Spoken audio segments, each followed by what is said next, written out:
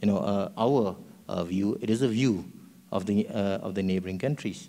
So uh, the, uh, we are, you know, a member of ASEAN. At the moment, Singapore is the chairman of ASEAN. And in October, after the, you know, the, the crisis that Professor, you know, had mentioned, there was a, you know, a, Security Council meeting, you know, on Myanmar. And uh, let me, you know, uh, quote to you what the uh, ambassador of uh, Singapore, Singapore said. And uh, I don't want to quote him wrong, so let me let me read it read it to you. This is remarks by the ambassador Vanu Gopala Menon at the Security Council session on the situation in Myanmar, 5th October 2007. And I quote, it will be a grievous mistake to think that if the SPDC, which is the military government, left the scene tomorrow, all would certainly be welled, and all problems will be automatically be resolved. The military is a key institution in Myanmar that cannot be whisked away. Any peaceful solution to the crisis will have to be in, to involve all parties, including the military. If the military is not part of the solution, there will be no solution. If the process is mishandled, you talk about disunity. This is not only our fear, it is also the fear you know, of our neighboring countries. If the process is mishandled, it could result in greater instability and more suffering for the Myanmar people. And uh, he quoted Thant uh, who is a grandson uh, of uh, the first Asian uh, Secretary, uh, Secretary General U Thant. Uh, Thant a former U.N. Secretariat official and grandson of U Thant, warned recently that the world must be careful that the change it wants to see in Myanmar does not lead to anarchy seen in Iraq. Myanmar is not a homogeneous state. There are many armed ethnic groups that are opposed to central government rule, and only a very tenuous ceasefire prevents the renewal of hostilities. This should not be an excuse for delaying necessary steps forward, and we're not delaying it. But neither do we want a Yugoslavia in Southeast Asia. So uh, that is a real fear. Disunity disintegration of the country. It is a real fear, uh, you know, for our government and people, but it is also a real fear uh, for the countries of the region. Uh, two more questions before I open it to the floor for questions. The first is uh, that the professor under whose aegis we are meeting here today said that you had fired at innocent civilians who were protesting. Is he right or is he wrong? Uh, the uh, you know, uh, let me uh, tell you uh, what the situation is. We had a, you know, uh, the Myanmar people uh, are quick to anger. So uh, we had a, a, situation in 1988, which started, you know, from the demonstration of a few hundred people, which lead, lead to an, anarchy in the entire country. And the, inter, again, uh, you know, uh, the, in the incident that uh, the professor, you know, mentioned, initially there were only, you know, a few, you know, hundred people.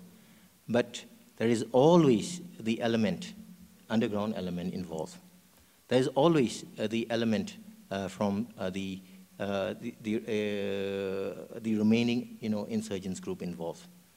And, uh, you know, the government have documentary evidence that a group of people behind that you know, are uh, planning, uh, you know, a, a, uh, the, a, a terrorist actions, you know, against the government. Uh, in Myanmar, uh, you know, uh, you know, ambassador, and the, you say Pakistan is not a good example. in India, in all the former British colonial, you know, country, we have a a section uh, into you know our legal system called Section 144, called aid uh, to civilian authorities. When the civilian authorities you know cannot cannot control the situation, the military is called for. So what the military give is give warning three times, and uh, you know if that warning you know is not followed, the you know uh, the procedure uh, call, you know, for firing. So, you know, yes, there was firing. The government uh, also said that there were, you know, uh, were casualty. There were 16 people died, you know, because of this uh, tragic inc incident. It is true. I understand Section 144, which means calling the army to help civilian power. Uh, we have that in all countries, including in the United States. in Katrina, uh, the army had to be called in to aid uh, civilian power. But my final uh, question is more of a suggestion than a question. You don't have very good relations with the United States, and you have a problem with the strength of the army in Myanmar. Uh, my suggestion is that the United States needs a lot of troops in Iraq and in Afghanistan. Why can't you export your army to them? You'll be becoming a better friend of the United States and you'll solve your problem about your army. Uh, kill two birds with one stone. Uh, Ambassador, I, I, shall, I, shall, certainly convey, you know, uh, your good suggestion, to, you know, to my government. the floor is open for questions from the floor. Yes, sir. I think my recollection of history is pretty good. Uh, you had a, a, great world leader, U Thant, who uh, represented democracy, who was such a symbol uh, many, many years ago. And uh, in our history, uh, George Washington, his thoughts, his democracy is perpetuated today. What happened with your government? You made a 360 degree turn. Yes, uh, we have a, great leader in, in U Thant. And, uh, you know, uh, that is why I'm trying to explain to, to you the history, you know, uh, of our country. We had a democracy uh, from 1948 uh, to 19, 1958. But, you know, it was, you know, a democracy by name, but at the same time, we have a lot of war warlordism. The members of parliament have their own militia. There is no law and order people are killed, you know, on the street. And, you know, you uh, try to, you know, uh, uh, think up what is happening in Iraq, uh, you know, uh, right now. It may not be as, you know, uh, bad as that, but, you know, all these things were happening, you know, in the country. So it is for the, you know, sake of the peace and stability that the military, you know, took up. But our aspiration is for a democratic country. That is why uh, we are holding a referendum in May. And uh, in 2010, uh, we will have, you know, a, a, a, multi-party democratic, you know, elections. Uh, whoever won the elections uh, will form the government. And, uh, you know, let me tell you, it, what we aim for is stability. And what we have achieved is a constitution that is acceptable by all, including the insurgent groups. Again, let me go back you know, to the two constitutions.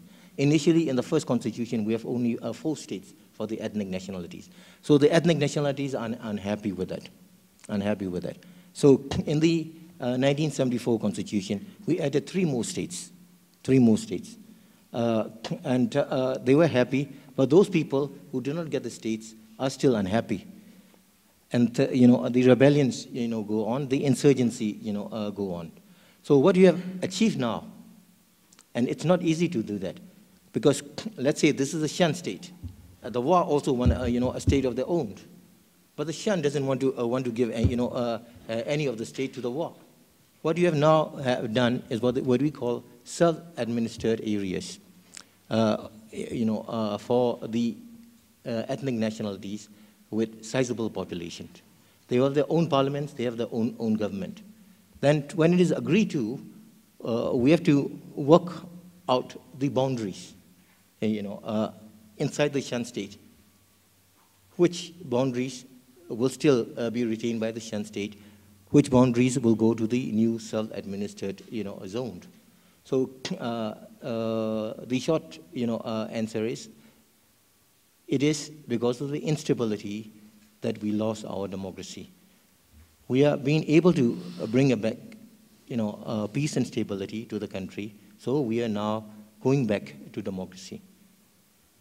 This U, which keeps coming up in all these names, what is this? Is it a title? Is it a, is it a tribe? Is it, uh, is it the only title? Are there other titles? Are you also an U or not? Uh, what is this Uh, you know, uh, Ambassador,